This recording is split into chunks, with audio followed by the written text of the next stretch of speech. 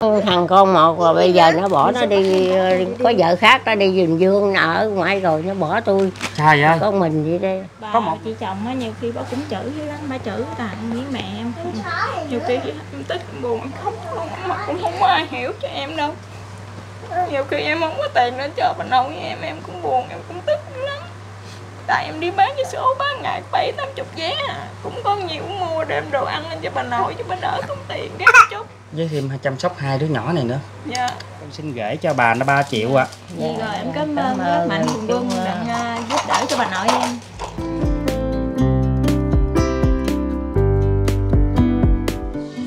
Cao hớn mến chào ờ, cô chú anh chị em. Thì ờ, mình được sự giới thiệu của bà con cô bác về một hoàn cảnh của bà lão nghe nói cũng trên 80 rồi Sống trên một cái căn nhà sụp sệ ờ, cũng được ờ, bà con cô bác cắt cho lâu nay. Thì ờ, ờ, nghe nói hoàn cảnh cũng lâm vào ờ, rất là khó khăn Sống cùng chung với những cái người ờ, cháu của mình mà cũng bị khờ nữa. À, Bà cũng không biết ờ, phải ờ, sống như thế nào. Thì mình được sự giới thiệu hôm nay mình đến đây ở đây thuộc ờ, giống như một vùng nông thôn vùng ờ, mình chạy phải băng qua những cái cánh đồng tới một cái con đường đan nhỏ để chạy vào trong đây ở trong một cái vùng hẻo lánh để mình tìm hiểu về hoàn cảnh của bà như thế nào. Thì mình cũng nghe nói là nhà cửa cũng không có đất đai gì do đó là khi mà ông mắc á, thì cũng không có đất chôn. Cũng phải à, chôn ở trước cửa nhà như thế này luôn. Còn à, cái căn nhà này thì của hội từ thiện cắt cho. Dạ con chào bà. Bà bà năm nay à, 80 hay trên 80 rồi? Tám mốt 81 tuổi rồi. Mốt. Dạ. Lớn tuổi quá rồi. Đây đây đây là con của ai? Con nhỏ nãy đó. Cái em gái mà mới đi ra đó ờ, Là con của nhỏ đó. Con nhỏ đó nó mới đưa Đó là con của bà hay là cháu? Cháu không à. Cháu.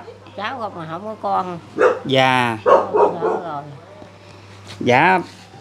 Bây giờ Cái căn nhà này con nghe nói là của từ thiện cắt cho bà phải không? Ừ, mấy ông cất cho tôi với tôi không có Dạ cắt lâu chưa bà hết cũng hư hết rồi. 10 trên 10 năm không? Trên trên 10 năm đó. Dạ. Cái cái này nó nó muốn ngã hết trơn rồi bị cây đó. Dạ. rồi một mối ăn hết Đi. trơn rồi. Chó la chó cái rồi đi. Trên 10 năm rồi. Trên 10 năm rồi. Dạ. Cho con tham quan cái nha. Dạ. Ồ ôi. Nó nó mối ăn hết trơn mấy cái miếng ờ, cây đó. Mới ăn hết rồi la con chó ở đây đi trời ơi bà ở à. trên đó mình thấy có lưới nữa kìa. Nhà bà lớn tuổi rồi đó không có ai cũng ở rất là bề bộn á. Còn đây là cháu cháu nội hay cháu ngoại bà? Cháu nội. Cháu nội. Dạ. À, đây là con Này, của cái em hả? con này này nè. Hai đứa rồi con nghe nói là bà là hiện tại là sống với mấy người, người cháu của mình là phải không? Dạ sao? Bà phải sống với mấy đứa cháu bà không? Bà sống mấy với cháu chứ đâu có sống với ai đâu. Mấy mấy người cháu bà đang ở hiện Đây tại là mấy đây người cháu? mình ơn thằng khùng khùng nó đi giữ dịch rồi. Hàng không khung ờ Trời thằng ơi. nó, nó hơi tưởng tưởng khùng khùng đó. Là nó mà- đi thì nó đi thì sau khi nó về nó la lối um sùm thì cái đó không làm gì ai. Là là Hường hay La. Dạ. rồi rồi cháu ấy bao nhiêu tuổi Ờ, năm nay tuổi dần á hai mấy tuổi rồi. Trời ơi rồi rồi có nhà không? Dạ, Nó đi rồi, giữ nó đi dịch, giữ người ta rồi. đi- người ta kêu nó đi giữ dịch đặng đi kiếm tiền xài vậy đi đó. giữ dịch dạ. đi giữ dịch đặng kiếm tiền đặng à, về Chiều nó mới về. à? năm ba chục vậy đó người ta cho năm ba chục ngàn. Rồi chiều mới về. Dạ chiều mới về. Năm sáu giờ chiều nó về. Còn em là là chị của mấy đứa đó hay sao? Dạ Chị con thứ này ba. chị chị thứ ba. Rồi có hai người con nữa. hai đứa con này hai đứa con của nó là này nè dạ. Rồi rồi em ở chung đây hay là ở đâu? Ở dưới chồng ở dưới nhà chồng dưới nhà nãy đó. Dưới dưới nhà chồng là cái nhà mà nãy đi vô khu Dạ. dân cư đó hả? Dạ. trời ơi gì đâu lúc nhúc không hả? Rồi em có mấy đứa con rồi? Nè hai đứa. hai đứa nhỏ này. Dạ. Chú uh, coi chú giúp đỡ giùm tôi cái trời ơi chết rồi gì đây rồi. Dạ. À, chú uh, coi giúp đỡ giùm cho tôi mang ơn chú. Nhà đó nó nó mối ăn hết trơn rồi mấy cây đó mối ăn hết trơn. Không căn nhà con thấy cũng vẫn còn im mà còn được. Ừ, còn còn nguyên vậy im vậy đó. Dạ. Bà cái giọng đi. bà bà xuống đây ngồi đi bà. Dạ. Rồi bà cho con hỏi thăm nha. Ờ tôi biết dạ. tôi biết đó rồi nói dạ con nói hơi lớn lớn phải không? Ờ nói lớn lớn đi. Dạ. Rồi rồi hiện tại bà còn sức khỏe để ờ, mình nấu cơm nấu nước được không thì đi vô đi ra nấu cơm ăn chứ yếu lắm. Bắt đầu cơm đi rồi thì ra đây ngồi chứ không dám đứng đó. Dạ. Nó yếu dữ lắm. Đi đi ra trước. bây giờ không có đi đâu được hết trơn. Yếu quá yếu rồi. Rồi em ờ, cho anh hỏi thăm coi rồi ờ, tới rồi- 81 tuổi rồi, rồi còn. bà ở đây nè ở đây cùng với hai người em ruột của em hả? Dạ. Chỉ có ba người thôi. Dạ. Rồi đứa nhỏ nữa là mấy tuổi? Nó 11 tuổi. 11 tuổi. Dạ nó đi bắt ốc rồi. Trời ơi đi mò ốc rồi đi mò ốc để ăn. Dạ mò ốc để đang bán. kiếm bán tiền tiền. đang ờ, Mua đồ ăn. mua này kia nó ăn đó rồi tôi khỏi cho. Bắt bắt ốc gì mà bán Ốc bà? đắng. đắng ốc đắng. Ốc đắng. Ốc con lớn lớn vậy nè. Ốc quấn ốc đắng rồi đó. ốc quấn đó. Chiều mới về rồi, rồi, rồi bắt vậy rồi giờ em mấy bán được bao nhiêu tiền? Bán có 10 ngàn ký 8 ngàn ký à Thì ngày ngày vậy. được mấy ký? Ngày không biết nhiêu nó nhiều thì ờ, thì đừng chục ký còn ít thì năm bảy ký. À tội nghiệp bên chúa đi mò nắng nôi rồi cái cái cái người à, em ruột của con á em ruột của em lớn á là nghe nói hai mấy tuổi mà mà khờ đó rồi đi- là đi giữ dịch cho người ta. Dạ người ta kêu đi giữ dịch rồi đang à, người ta cho hộp dịch đồ ăn cho đỡ tốn tiền ra. Trời ơi, khổ nó dữ năm nay nó vậy. tôi dần đó nhiều coi nhiêu hai mấy tuổi rồi. Dạ. Tôi dần đó. Bà thì 81 tuổi rồi. Dạ. Bà họ tên gì? Quỳnh đi khiêm Quỳnh Thị Khiêm. Ờ, địa chỉ ở đây rõ nhất là địa chỉ ở đâu bà? Ở đây còn ở đây. Là khóm gì? Cơm tới ăn khóm Tây An. Ờ, Phường. đây à. phường mỹ thế phường Mỹ Thới thành phố Long Xuyên. Dạ. An Giang. Nên rồi rồi bà có mấy người con?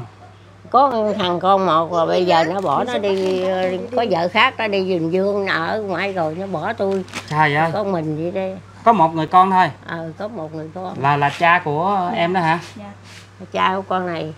Vậy là em có tổng cộng là mấy anh chị em? Dạ ba nhưng mà chị hai có chồng ở ngoài sài gòn đi ra Sài Gòn hai chồng ra ngoài làm. À, mà bên chồng của chị cũng khổ lắm cũng không có giúp đỡ gì được nhiêu về á thì cho bà nội cũng được trăm hai trăm thì cũng có tiền bà xài đang bà mua này kia bà ăn vậy thôi. Mà cũng tiền thuốc men tiền này tiền kia cho bả với thằng em cũng hết rồi chứ đâu có còn nhiều đâu. Cũng mượn đầu này mượn đầu kia đặng mượn đặng có tiền lãnh lương tiền già đó. Rồi bắt đầu mới trả lại cho người ta.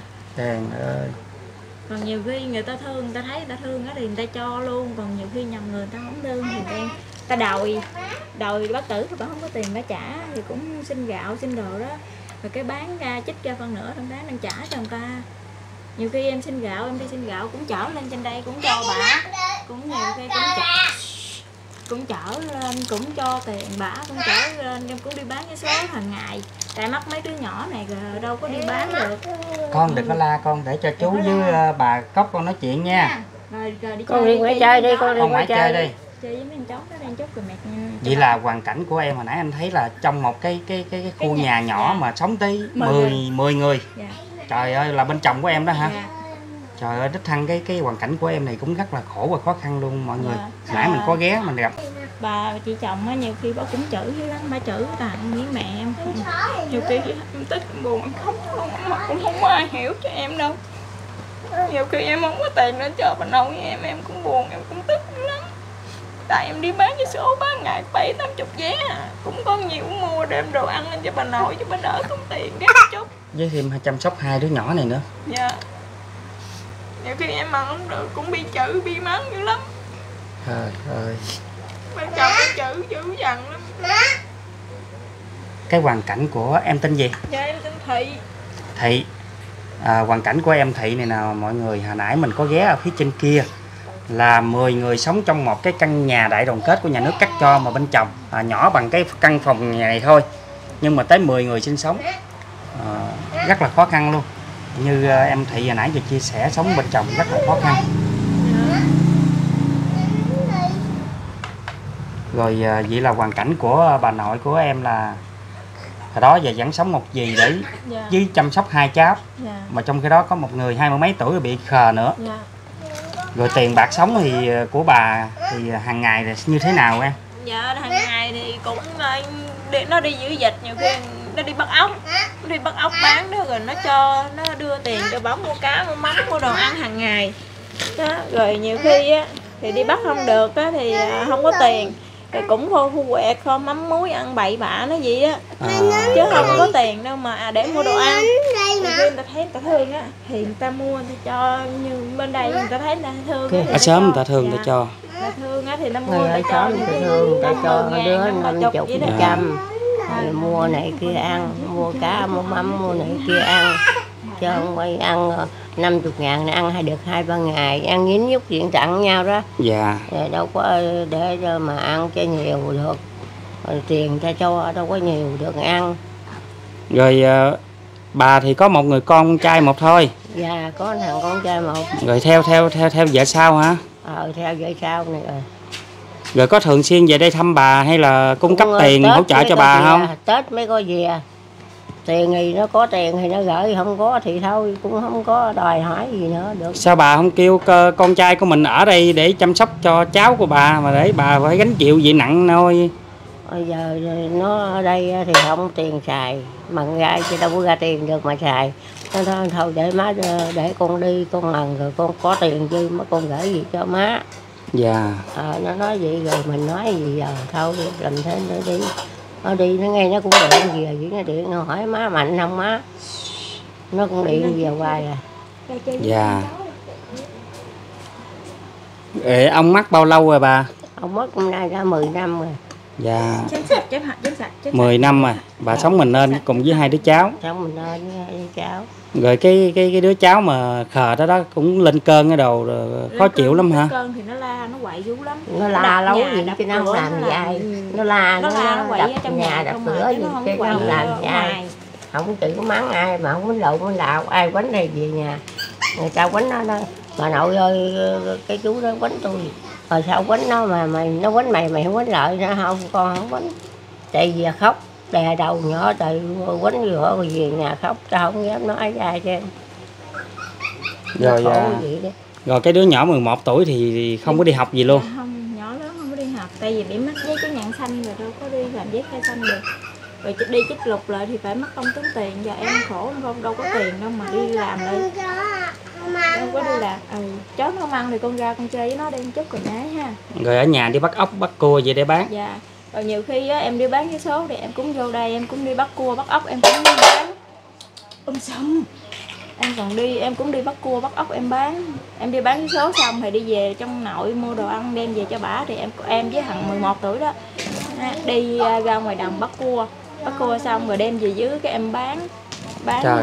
bán được năm ba chục gì đó cái đem lên đây cho bả vậy là em phải vừa vánh gác bên à, chồng của em Dạ. hai đứa nhỏ này Dạ.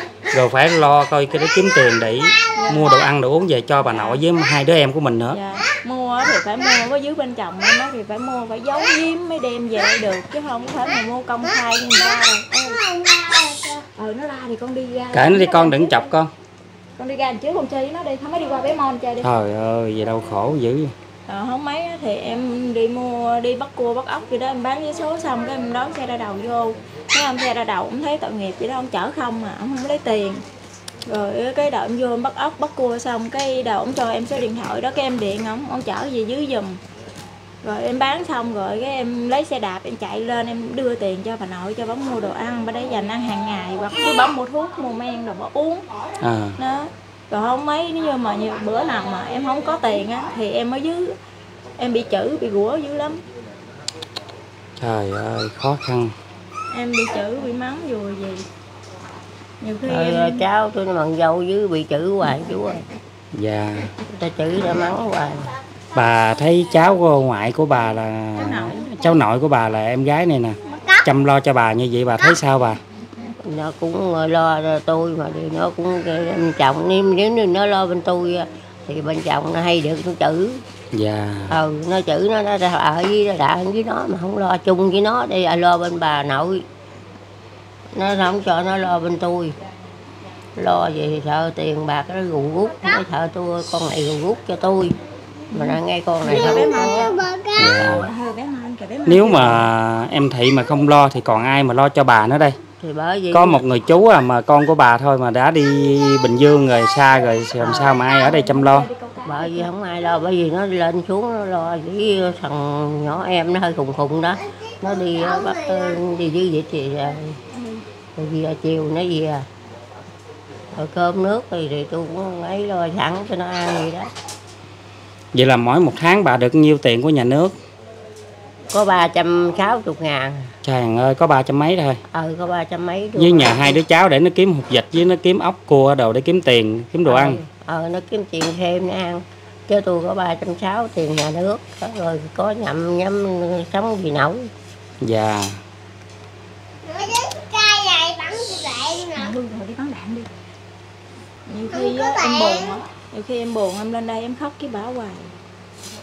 Nhiều khi em buồn em lên đó em nói nội ơi là em ngồi mơ đó em khóc. Em thấy em không có tiền em lo cho bà nội. Thấy bà nội không có ai chăm lo hết mà em lại có coi việc chiên bên chồng nữa. Dạ. Cũng phải lén lút để đi đến đây. Dạ. Nhiều khi, con đừng có la nữa con. Nhiều khi xin lên đây á thì em đi chữ đi chữ rồi mới cho đi nói em mới lên đây mày đem tiền lên cho bà nội mày mày mòn rút tiền mình ở dưới đây hỏi mày đi lên đây chơi một bữa ở dưới tử đây nó nói lên nó gù út cho tôi. Chàng ơi thì không có ai chăm lo cho bà thì cháu nội phải lo rồi. Ừ mà ở dưới nó nó nó nó nói người ta nó nói con này ăn gù út cho tôi. Nó cho chữ nó mắng con này quá trời thì tôi thôi với con ơi đừng có lo Trời ơi cảnh khổ sống cảnh hai quê sống gì? Vừa chồng vừa bên nội nữa Lo cho mấy em ruột của mình nữa nhiều khi lên lên đây em không có tiền cho bà em cũng buồn nội em khóc rồi em ôm bà em khóc nói nội ơi tới bà chăm tuổi già chứ con không có tiền con lo cho bà đâu nội con không có tiền đi bán vé số hàng ngày không có đủ tiền để nuôi cho bà đâu. Bán vé số kiếm ờ, được ngày có bảy tám chục ngàn nữa cho em bắt hai đứa nhỏ này đi bằng đi sợ nắng thôi nó đi bán là người ta thấy là tội nghiệp ta mua chúng sớm tôi cho cái gì mấy ta mua nhiều nhiều đừng uh, chung ta mua đừng cho mau hết đừng đi về á Rồi, rồi cái em thấy dư thời gian em đi bắt cóc ốc cua thêm nữa. Dạ. Còn nếu như mà đi bán bữa nào mà về á nhiều khi á, đi 6 giờ rưỡi đi tới 7 giờ 7 rưỡi về. Về á thì em thấy vậy thôi em dỗ hai đứa này ngủ rồi em gửi ở dưới em đi chạy lên đây em đi bắt cua bắt cua em bán. Rồi cái em có tiền á em chạy, bắt ở đây rồi chạy về dưới bán. Bán xong bắt chạy ngược trở lên đây cho bà. Trời ơi. Rồi nhiều khi á bà điện gì với có bệnh hay cái thằng em em bệnh gì đó. Cái đầu là điện với ờ con ơi bà nội bệnh. Vậy vậy đó. Cái đầu em cũng phải mất mua thuốc chạy ngược đem lên đây cho bà. Rồi nhiều Có khi không có tiền á thì phải giấu giấu rồi đi mua thuốc rồi đem lên cho bà. Giấu rồi đi mua thuốc đem lên chú luôn hãy cho tôi hiệp hay gì á? Cho thuốc thuốc nam. Cho thuốc. Thuốc gì á thuốc nam. Chút xíu ông cho thuốc nam cho bà. Không có điện thoại. Kêu con ốc nè con lên con ốc nè. Con gì trong thùng Rồi cái cháu ờ, cái cháu khờ đó đó mà mà, mà đi làm vậy đó được ờ, việc cho người ta không bà? Được người ta chịu. Bởi vì nó cái tôi nói với người ta tôi nói bây giờ nó nó chịu cái ngọt. Nó mà nói sẵn mà chữ thề quá thì nó không có mần bao nhiêu gì mấy ngày gì cũng bỏ nữa chứ không mần Dạ. Chữ ra nó rồi là nó giận nó không có màng tới nó đang giữ dịch ở ngoài đồng vậy đó. Cái nó tới cơn nó là nó la um sùm ở ngoài đồng hết trơn á. Dùng cái này đâu cá nha. Rồi ờ, tổng số là em ờ, có mấy ờ, anh chị em? Dạ ba. Ba là còn hai người nữa Người khờ với người em ở dưới. Ba là người chị ở trên bình dương đi làm chánh có À. chồng đi làm chánh với đứa em khờ hả? dạ. Còn Rồi. hàng ngày 11 tuổi đó là con em.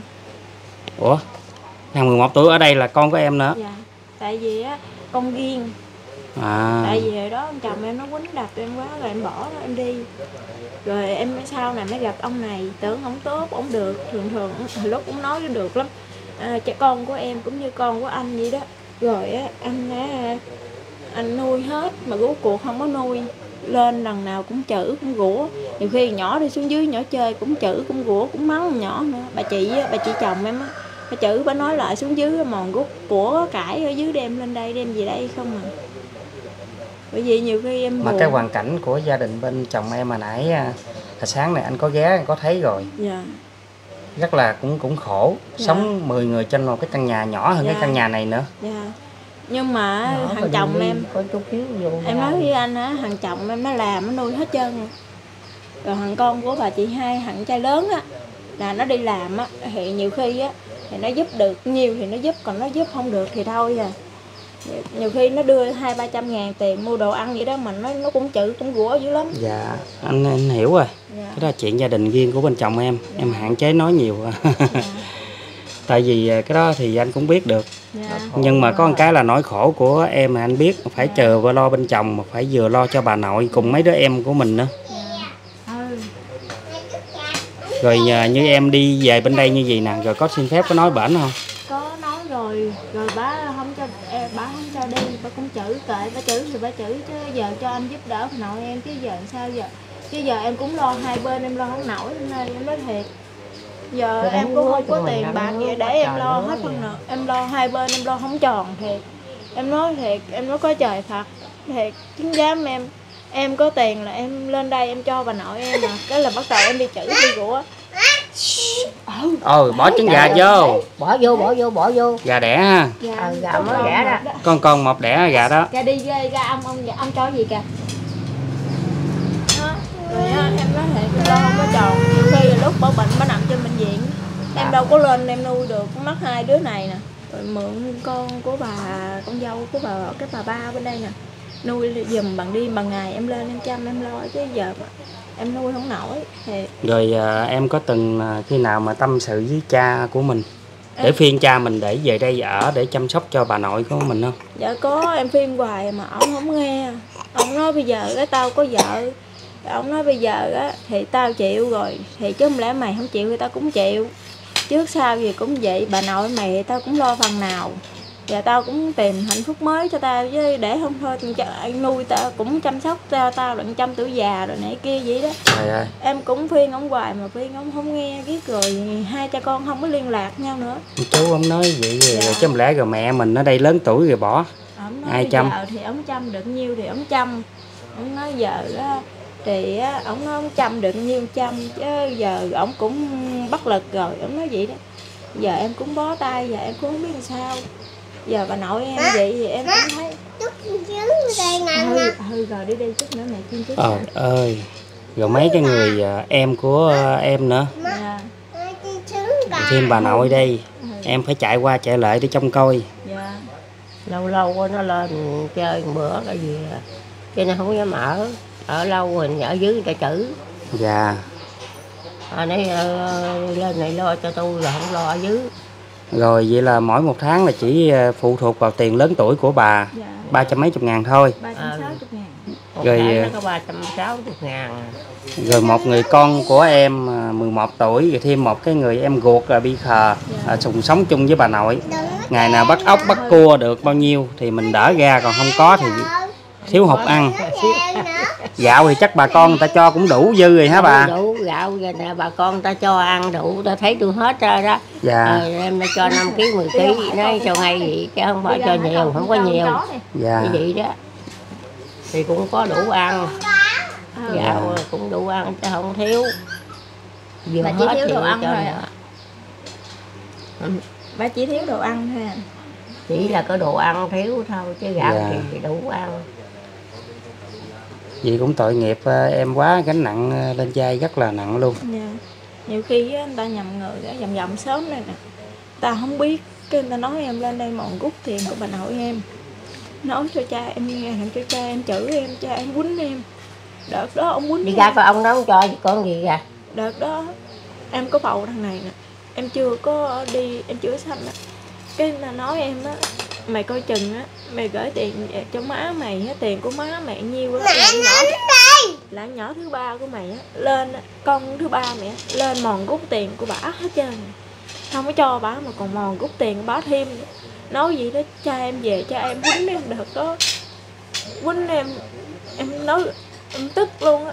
Quýnh em mà em không biết nguyên do tại sao điện tiếng dưới chửi em nói em lấy tiền của bà nội em vậy vậy đó.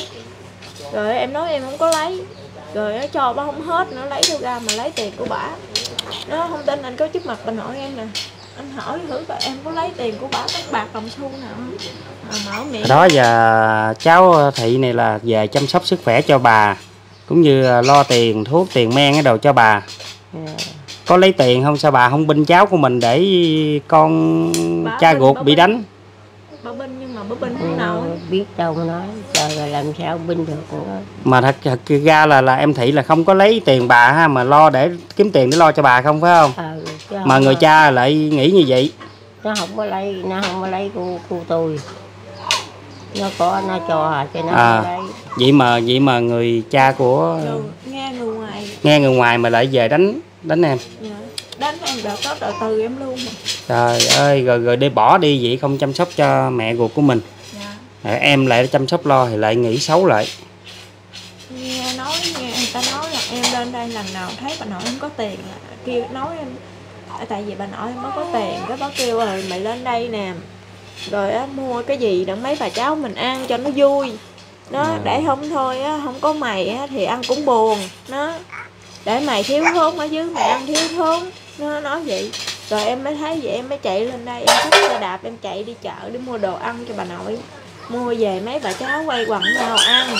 Nó vậy đó mà nghĩ ở đây nói cũng nhờ chị em bà con với tôi bệnh hoạn gì chở đi nhà thương hay gì đó. Mà chở nói- đi. Tội nghiệp nó cháu nó chở đi nó nuôi tôi tới chừng à, ông chồng con tôi gì à dạ. Nó ở nó nuôi nó đưa lên trên nhà thương nó ở nó nuôi dạ. Thì à, nãy giờ con cũng à, từng nghe một vài người ở hàng xóm phía trước. À, trước khi con quay phim thì người, con cũng tìm hiểu và người ta cũng từng kể cho con về cái hoàn cảnh khổ của bà Dạ. cũng như là của à, em thị cũng như gia đình của mình. Thì à, con đến đây con tìm hiểu hồi nãy giờ con thấy à, em thị kể cũng như là bà nói thì con cũng hiểu được một phần nào về cái gia cảnh của mình rất là khó khăn. Dạ. À, không ai trụ cột để lo kiếm tiền. Thì à, trước mắt là cũng một tay à, em thị đi qua đi lại để trông coi. Bà cũng như là đứa em ruột cũng như là đứa con của mình. Dạ. rồi vậy thôi hôm nay con cũng có duyên con tìm được đến nhà rồi. Con cũng nhính ít quỹ thiện nguyện của cô bác mạnh thường quân. À, con chích ra chút ít con gửi cho bà để bà có tiền để dành trong túi nha. Dạ. À, cần thiết mua đồ ăn hay sữa hay là thuốc men gì thì bà cứ sử dụng từ từ nha dạ Dạ bà ơi, sau đây con xin à, đọc tên danh sách mạnh thường quân con chích quỹ để con gửi chút ít cho bà nha. Dạ. Dạ, thứ nhất là cao hớn mình à, xin chích quỹ thiện nguyện của cô Nguyệt Bảo Đức ở bên Mỹ là 500 nghìn.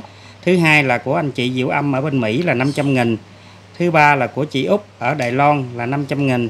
Thứ tư là anh chị Toàn Hạnh ở bên Mỹ là 500 nghìn. Thứ năm là chị Thí ở Gò Vấp, thành phố Hồ Chí Minh 500 nghìn. Thứ sáu là anh Tiếp ở Đồng Nai 500 nghìn. Thì à, con chích à, 6 cô bác anh chị mạnh thường quân à, ra được 3 triệu. Con xin gửi cho bà nó 3 triệu ạ. Vậy rồi em cảm ơn mạnh thường quân à, giúp đỡ cho bà nội em. Dạ. Cảm ơn các mạnh. cảm ơn người chú. Cảm dạ ơn các dạ. mạnh thường quân. Cảm ơn hết cho nên quân nữa nha. Dạ dạ con hiểu rồi, rồi trời dạ ơi. con biết bà lớn tuổi rồi. Dạ. rồi em cảm ơn các mạnh thường quân đã giúp đỡ cho bà nội em à, trong hoàn cảnh khó khăn này. Dạ em cảm ơn các à, cảm ơn các mạnh thường quân nhiều chứ nhiều lắm ạ. À. Ờ, sẵn nhân đây con cũng à, có vài lời xin chúc đến à, bà cũng như là em thị. Có nhiều sức khỏe dạ. À, để dồi dào để sống cùng với con cháu mình. Dạ. À, thứ hai nữa thì à, anh ờ, cũng có đi đường này ấy thì ghé đây thăm tôi. Dạ dạ Ờ, con có duyên con đi ngang con sẽ ghé thăm. Ghé nha ghé thăm Dạ, dạ. Dạ. thì anh em ruột của mình rồi đó. Dạ dạ. Không còn ai nha. Dạ, còn à, với em Thị thì anh cũng hy vọng rằng em cũng cố gắng trong cuộc sống thì à, mình cũng không có gặp được những điều à, may mắn. Mình à, có chồng có con rồi thì à, bổn phận cũng gắng cố gắng để lo à, làm sao sắp xếp cái công việc để cho ổn thỏa hai bên. Để mình đi tới đi lui và chăm lo cho bà nội mình nó được à, ổn hơn. Dạ, giờ thì em cũng không nói gì hơn. Em đặng giá đặng em có sức khỏe đặng em lo cho hai bên gia đình thôi bên chồng với bên nội em thôi. Bây giờ em không có cầu mong gì nữa thì em chỉ là dám cố gắng đặng cho mạnh mẽ lên đặng cho giúp đỡ đặng cho nuôi bên bà nội em với bên chồng em thôi chứ giờ em không có muốn gì hơn. À, rồi à, em thì à, bây giờ là còn đi bán vé số không hay là đang giữ nhỏ? còn còn đi bán vậy đó. À, ba cũng vẫn còn đi bán vé số rồi vẫn bắt ốc bắt cua. dạ rồi bắt ốc bắt cua là chủ yếu là kiếm tiền thêm. Dạ kiếm tiền thêm là phụ giúp cho bà nội thôi để phụ cho bà nội. Dạ còn tiền đi bán vé số thì cũng mua đồ ăn ở dưới cũng phân nửa cũng ở trên đây phân nửa à. bà bà xúc động khóc hả? Vui hay Dạ, gì vui quá bà khóc hả về? Vui thấy ờ, giúp đỡ tôi tôi mang ơn biết chừng nào nữa. Dạ thôi lớn tuổi rồi cố gắng là niệm phật à, sống khỏe với con cháu nha. Đừng có suy nghĩ điều gì buồn phiền mất công mệt lắm. Dạ. Dạ. Chú Em gái có đi ghé thăm tôi. Dạ. Em cầu mong rồi có đi ngang đây cho ghé thăm ngang. Rồi con có đi ngang con ghé. Em cầu mong cho bà mạnh khỏe giờ tính như thế là chồng họ của mình rồi. Không Dạ. còn ai nữa nha. Dạ. Bà có máy niệm phật không có có cái Có rồi ờ, ha. cái cái dâu sâu chuỗi nhưng mà khà sâu chuỗi. À còn cái máy niệm phật thì chưa ha? Mấy nhưng mà cũng có. Dạ để chút xíu con lấy cái máy niệm phật con gửi cho bà để nghe mình dễ ngủ mình niệm phật phật theo luôn nha. Ờ, dạ. Rồi. Vậy Cao Hớn mình à, cũng xin chân thành cảm ơn cô bác anh chị Mạnh Thường Quân à, cũng đồng hành cùng Cao Hớn đến những cái hoàn cảnh à, đặc biệt quá khó khăn. Dạ dạ con biết rồi, dạ. Dạ.